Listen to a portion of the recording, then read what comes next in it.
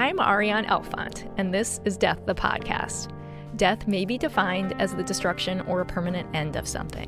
At Death the Podcast, we are looking closely at what happens when something ends. We listen, learn about, and discuss the stories that surround the subject of death. These stories bring up much more than feelings of fear and sadness. They offer opportunities for connection, for hope, and sometimes even for humor. Ultimately, if we are open to exploring death, we create greater potential to experience life. My guest today is physician and author Dr. Jessica Zitter. Dr. Zitter practices critical and palliative care medicine at Highland Hospital in Oakland, California. She is the author of Extreme Measures Finding a Better Path to the End of Life. In her book, Dr. Zitter conveys powerfully the message that physicians are not taught how to let patients die. Her writing has appeared in the New York Times, The Atlantic, The Huffington Post, Pacific Standard, and the Journal of the American Medical Association. She is also featured in the documentary Extremis. Extremis portrays the tension doctors, patients, and their family members face in end of life care. It won top honors at the Tribeca and San Francisco International Film Festivals and is nominated for an Academy Award for Best Documentary Short Subject. I am thrilled today to be able to talk with Dr. Zitter. Welcome. Thank you so much. One of the things that has stayed with me long after watching Extremis is the eye contact that you make with your patients. You're very able to attune to them and to do so with their family members. And in your book, Extreme Measures, you point out that medical training does not prepare you for the psychological and social factors at play within families at the end of life. Where does your ability to do this come from? Wow, that's a great question. Thank you for asking. You know, I think that I was born as a young child being very interested in the psychodynamics of life and of relationships and I I think when I went into medicine, I was sort of taken aback by the fact that that wasn't a part of what we were there to do, or it didn't feel like it was a part of what we were there to do, to really connect and to hold hands and to think about people as people. So it, it was a real jarring experience for me because I'd always been focused on that type of thing before I went to medical school when you were in medical school, what did it kind of unteach you about being able to connect with people? That's a really great way of putting it. I mean, I think that medical school is a really scary place. Um, all of a sudden, you're, you know, you're really a kid, and you you kind of come out of this college experience, and you're all of a sudden in touch and in contact after the first couple of years that you're really mostly in the classroom. But as soon as you come onto the wards in the third and fourth year of medical school you are you are really um, witness to this profound suffering that most of us really don't see um, which is why i think it's you know such an important thing as an insider to bring this information out to people because it's not something that most of us ever witness until we have a loved one go into the hospital or get sick and die. So it's a very shocking experience to go from living what most of us, you know, live as, uh, have as a non affected by death existence and then come into this world where you're supposed to be taking care of people who are profoundly suffering and we're really not prepared to do it. Um, we are all of our role models really are there to show us how to do physiology and how to improve organ function. And particularly for me, who went into the ICU, um, that was the focus: was how can we get that last heartbeat out of that person? And um, it, it it just doesn't prepare you. We're not prepared to handle the suffering that we see one of the things that uh, that you talked about in your book, there's like a section entitled uh, "Heroic Doctors Ask for Help," and you talk about how in the current medical culture, one doctor is making most of the decisions for a given patient during a particular hospitalization, and you point out how this is too much moral responsibility for one human to hold. That medicine needs a mechanism enabling doctors who are managing dying patients to get collegial support. Do you see more of this happening? That's a really important topic and a really important point that I want to bring out with my writing and that I want to bring out with my speaking. People see doctors as black and white. You know, either we're there to help and we're good doctors and we care about patients, we care about the whole patients, or we're sort of bad, disconnected, cold doctors who don't really care about anything. And I, I just I think it's so much more nuanced than that. You can't expect one doctor who's already whose job is to rev up in in you know favor of life saving all of a sudden to be this only person kind of swinging everything towards a different well, let's let's talk about whether or not this really is the right approach it's it's it's it's it's it's number one it's it's difficult number two it feels like failure in the way that we've been you know this was the goal that we were going towards. So all of a sudden to say oh well that goal actually isn't our goal anymore. We're going to have a new goal.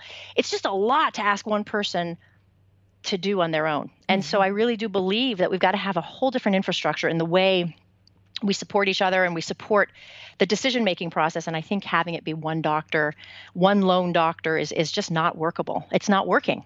Can I tell you a quick story? Yes. One day, my colleague was leading rounds. I happened to be there and I was listening to him lead rounds. And he's a terrific guy and he was trying to get his team. This patient was doing really, really badly. And they were full court press. It was a young guy. Everybody wanted this guy to come back and live and and and they were doing everything. They'd been treating this guy relentlessly for seven days and he had been deteriorating and deteriorating and had come to my colleagues sort of understanding. I mean, this guy was not going to make it out of the ICU. But he wanted to sort of talk with his team about it and see what everyone else was thinking and start to think about whether or not the team thought it might be time to start to present a different picture to the family. Instead of the goal is life saving, maybe we're at a point where that's not one, an option. Let's think about other goals that are more sort of in line with what's going on. And so we asked this big group of people, and I was standing right there. It included all the residents. There was a couple of medical students. There was an, um, our pharmacist who's terrific, a bunch of people, and the nurse was standing there. And he said, "Okay, um, tell me, guys, what do you think is going to happen with this patient? Does anyone think that you know how are things going?" And you know, everyone was silent. And he said, "Well, well, well let me ask you a little uh, more specific question. Do you, do you think this patient is is starting to do badly?" Total silence. And my he told me, he said, "Yeah, I just have to tell you, it was really uncomfortable. I felt like a feeling that's very common to me, by the way. He said, I felt like they thought I was kind of a wimp, kind of a loser. Like, here I am, like ready to give up on this guy. He's 34 years old, and you know, we could save this guy. We're going for and he said, I, I felt uncomfortable. I didn't know what to do. So he takes a piece of paper and he rips it up into eight pieces and he passes a piece out to each person who's standing there. He says, Guys, I want you on a scale to write on a scale from 1 to 10 how likely you think it is that this guy's going to get out of this hospital, get out of this ICU, get off that ventilator. Every single person wrote either a 1 or a 2. Most people wrote 1, meaning no way. Mm-hmm. So here's this team, there's this consensus in everyone's head. This guy's dying. No one's willing to admit it. And this attending, who's extremely experienced and who knew that this patient was dying, needed the support of his team to be able to say, okay, it's time for us to start to change our orientation and to start to present a different picture to this family. And he needed the support even of his medical student. It's really hard to do this stuff by yourself. It's really hard. I would think it would be next to impossible. I think a lot of us take for granted that when it is suggested that something be done medically, that we just say, yes, okay, without really understanding what the medical procedure is at all. And that if we understood as a caregiver or even as the patient, um, what what that was, that we might make a really different decision. We we have data to prove that that's true. Data after data after data. Pretty much you know, most of the palliative care data that we have shows that when patients have knowledge about the benefits and burdens of various procedures, they tend to, not everyone, of course, but a lot of people choose a much lower level of intensity of, of treatment. Um, so, you know, or or a, or a, change in goals of care altogether towards more of a comfort approach. So we know that you know when people do understand um, uh, what what what what it is that that they're signing up for, they they are much less likely to want it. One of the messages I hope that this book brings to people is, I want people to stand up and ask and say, hey, you know what? can you tell me what you're really thinking, doc? I want people to understand that their doctors may not be able, but they may not they may not have the skills to tell them that bad news. Sometimes the patient needs to be brave enough to ask for it. I think that will go a long way in helping to enhance the communication that we need in order to allow people to access a better path to the end of life. And I loved in your book that you kind of shared some about your journey of being from a long line of doctors, surgeons, choosing the, a different path, the path that you chose. And you write about um, saving your grandmother your third year. You know, that piece was one of the most incredible pieces that I, I can remember writing. It's just really the, you know, 10 year, almost 10 years apart, these two grandmothers of mine dying uh, in very, very different ways and with me playing very different roles.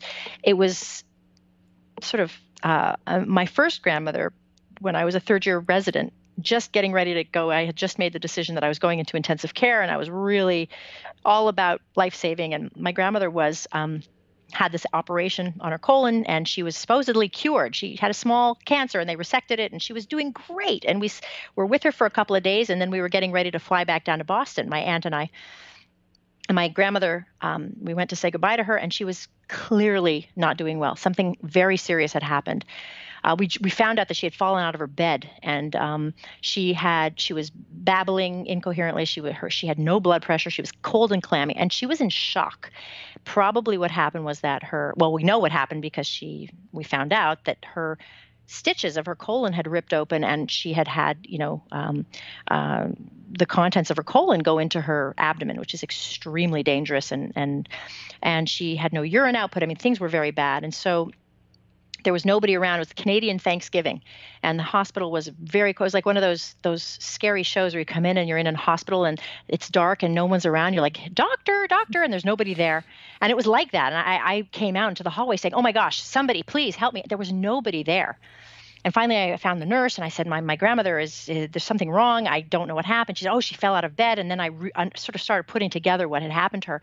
I said, we've got to give her fluids. You know, p- call the call the residents. Can you start fluids? And she, usually people won't listen to another doctor, but she under she's like, oh my goodness, you're right. We starts fluids. This, we start to, you know, try to get her under control and finally i got i called the attending surgeon and i told him the story and within 30 minutes she was in the operating room um, on the on the operating room table and they saved her life um, and she went on to live another 10 years and you know here i was this little you know kid basically, you know, young doctor, uh, and I mobilized an entire surgical team on Canadian Thanksgiving to get my grandmother her, to get her life saved.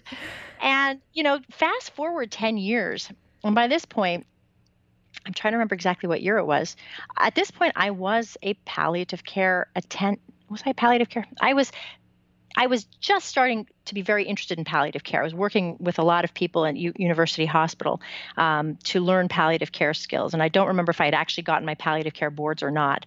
But my grandmother, who had very profound dementia, this is my other grandmother, was dying, and we had put her in hospice several months earlier, and she was having a very comfortable ending of her life, although she was very demented.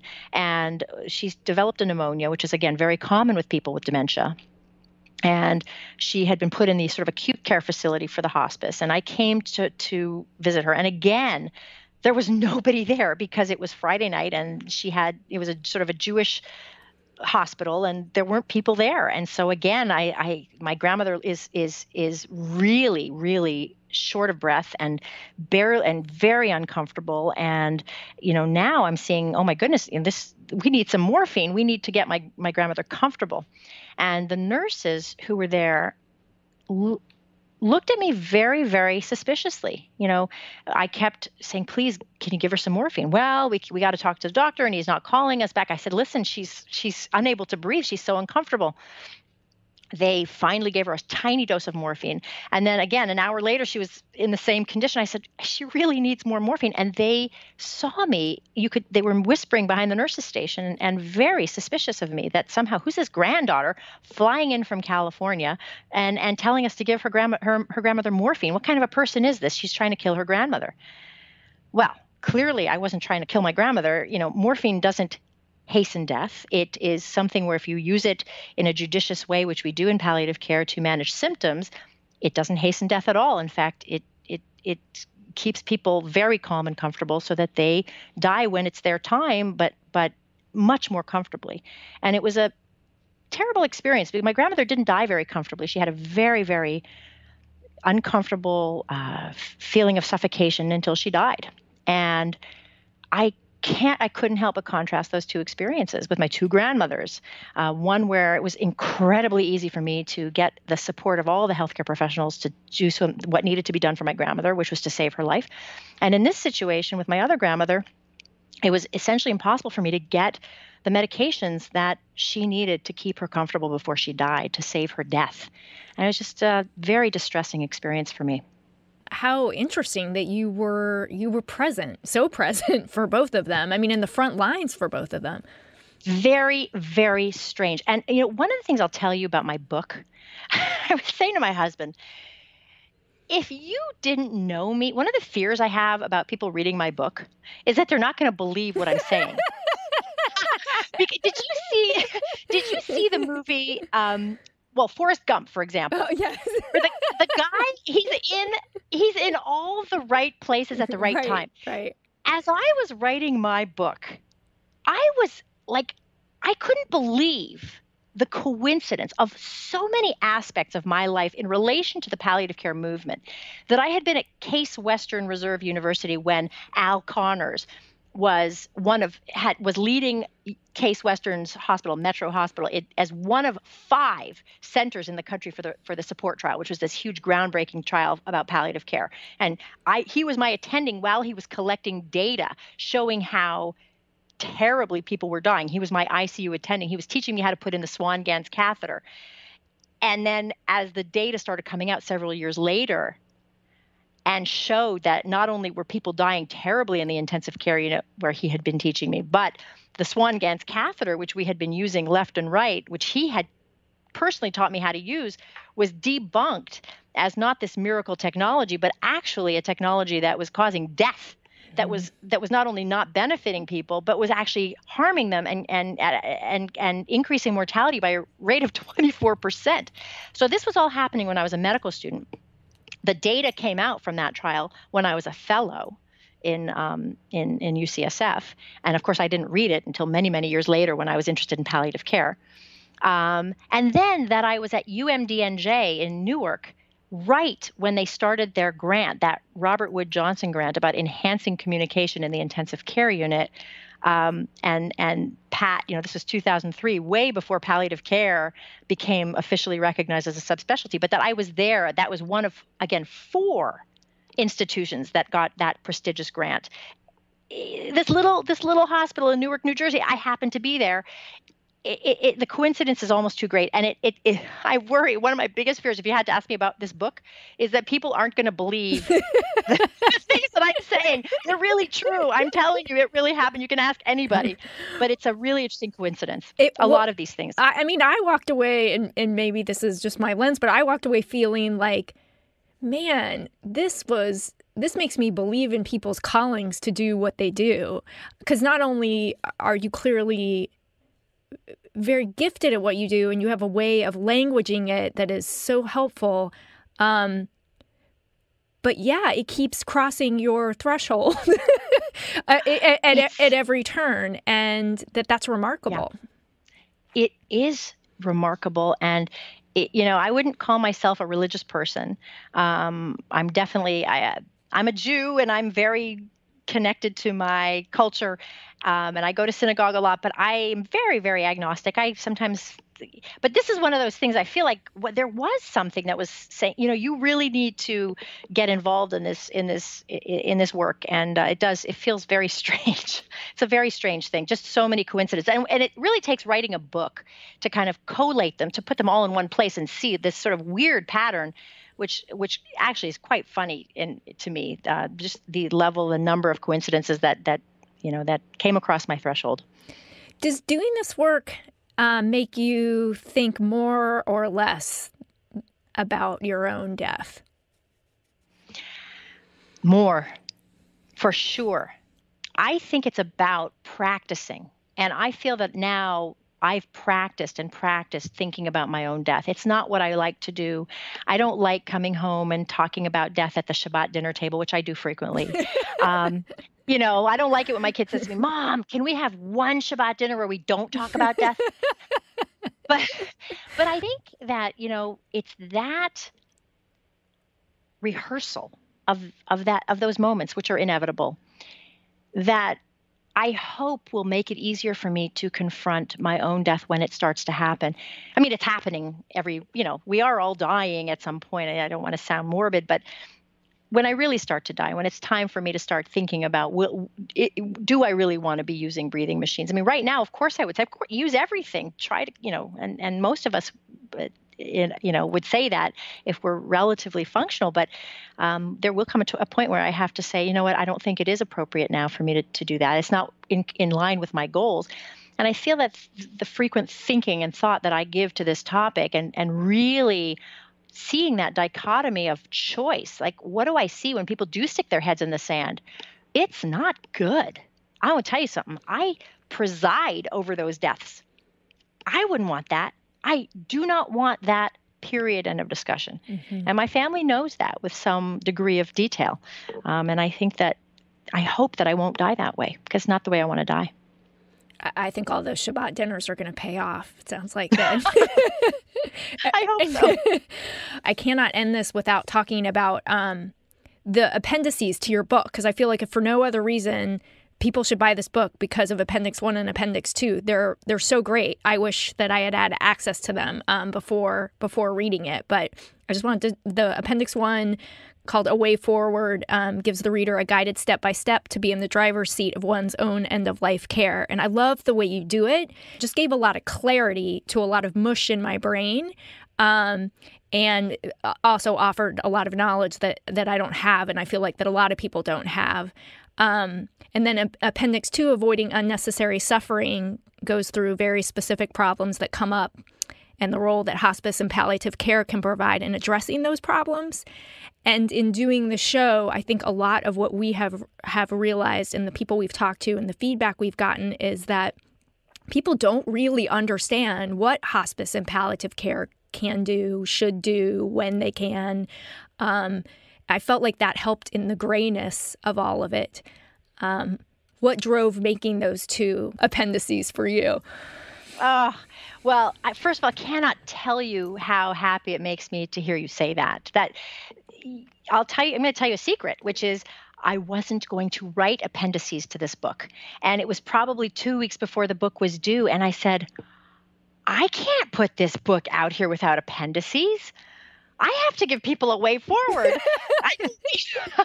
and I really um, scrambled to put them together. And um, I'm so glad I did because I honestly think it would have been irresponsible for me to put this book out without appendices.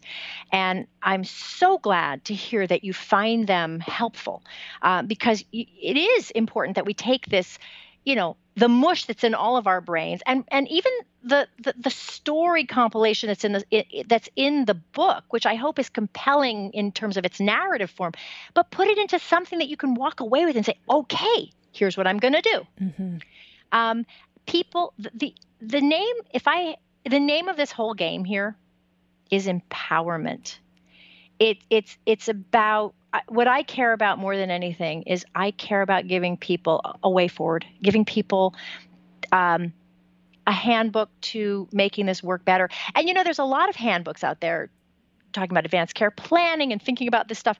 But one of the things I noticed, I mean, and I know as an ICU doctor, is is this one phrase: the best laid plans of mice and men, or the best laid plans can go to waste, basically, in the environment of extremis. Donna in the movie had been talking about her end of life goals and, and values for years with her brother. She knew, she knew she had a genetic disease, right? She had a deteriorating neurological, progressive neurological dysfunction. She had been getting weak for years. She had watched her father, her cousin, her sister all die on ventilators. She had seen the devastation that comes with living on a ventilator and dying on a ventilator. She did not want it for herself. And she had told her brother Gordon, who she lived with for, I think, a year or two before she died, you have to be strong. You have to stand up and against the family if they insist that I stay, you know, I don't want to be on a machine. I don't want to live on a machine. So when she came in in respiratory failure and got immediately put on a breathing machine, which was, you know, what we do, um, there had been no POLST form filled out. There, how, she didn't even know what a POLST form was. A POLST form, which is the physician order for life-sustaining treatment, which tells you know first responders like EMTs, paramedics, and emergency room doctors, this person does not want to be intubated. It's a doctor's order. It has to be abided by. Hadn't even been a consideration. She didn't know. She thought that telling her brother would be enough. But her loving brother brought her to the emergency room because she was really suffering. In fact, I think it was 911 call, and they intubated her. And then the decision was, okay, now what do we do? And so, you know, there was um, this hope that, well, there's, you know, an article that says there's the team there's an article that says there's a 20% chance that people with this particular condition can eventually come off the breathing machine okay but was she willing to take that 20% chance there's an 80% chance that she won't come off the breathing machine and that she will live exactly the way that she told her brother she didn't want to live. But all that he heard was that there was a 20% chance. And as a loving brother who cared so much about her, he said, okay. And so it took really delving in and trying to kind of figure it out, you know, with all the different communication strategies that we had that you see in the film, what Donna really wanted. And really talking more with her brother and explaining the burdens and the risks of the treatments that we were planning to do, the trach, et cetera, for him to say, oh my gosh, she didn't want this. And, you know, that's what I mean when I say the best laid plans. Here's a person who really did talk about this stuff, who knew she was dying. Her brother knew she was dying. But when it came to the moments of crisis and the extremis and the respiratory failure, things go out the window. Mm-hmm. And you can't just rely on things working themselves out. You have to, we have to be in the driver's seat. And that's what I'm hoping that these appendices are doing for people. I think I think they're great. I think that they, they make something that feels way too overwhelming, like being in the driver's seat. What does that mean? What do I do? How do I do it? Okay, I'm just not going to deal.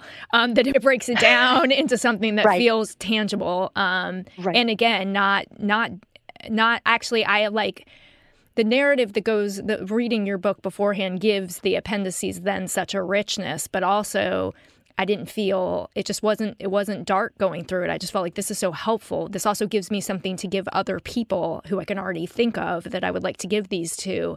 Um, so thank you. Oh, thank you. That really means that means so much, and I'm I'm so happy that I wrote them in those last. two I really am. Thank you, Dr. Jessica Zitter. Thanks so much for joining me today. Such a pleasure. Such a pleasure. Thank you so much for having me. The word death evokes all sorts of personal feelings, images, and stories. These stories are amazing, and sharing them connects us more fully to life. I'm Ariane Elfont, and you have been listening to Death the Podcast. Join us for our next episode in this series.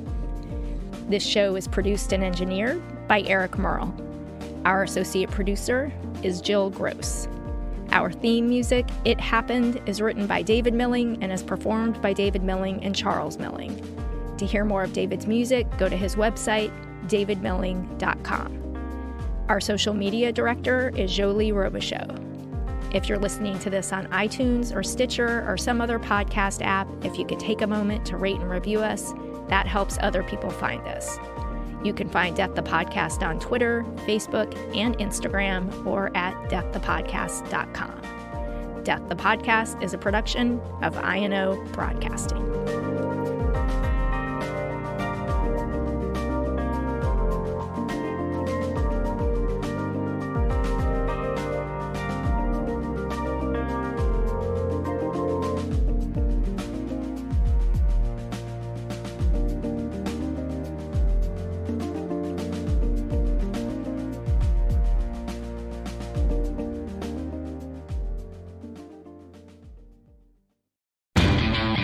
Know Labor Day signals the unofficial end of summer, but not the end of your outdoor projects. Lowe's helps you do it right and helps you save with Labor Day deals throughout the store. Shop now and get two bags of Stay Green potty mix for $12. And keep your lawn looking neat and trim with a Craftsman 2-cycle 17-inch gas string trimmer now $20 off at just $119. Whatever's still on your to-do list this Labor Day, do it right for less. Start with Lowe's. Offers valid through 828. Soil offer excludes Alaska and Hawaii. U.S. only.